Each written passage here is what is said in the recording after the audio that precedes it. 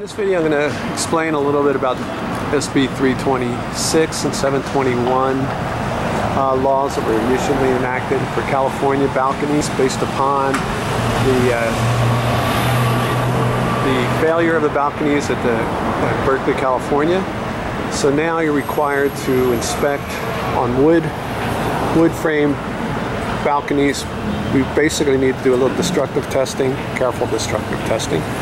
We'll punch some holes in there so we can get back in with the camera and take a look at the structural members.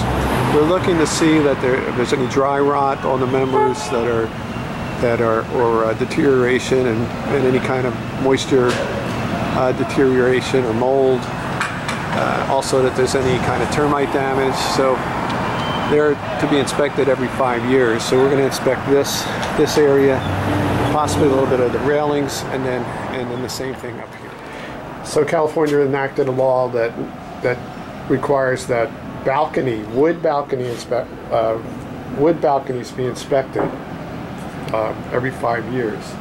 So I'm just going to comment. We're not conducting that today. I conducted a fire escape inspection on the railings, the the stair, and the ladder, and the ladder to grade. But just from my general uh, view of things, this has been recently painted.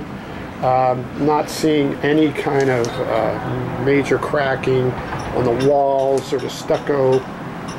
And again, we're going to need to investigate further. Uh, and probably what we're going to need to do is to cut holes. Um, actually, I'll, I'll, just use this as an example, even though that's not about.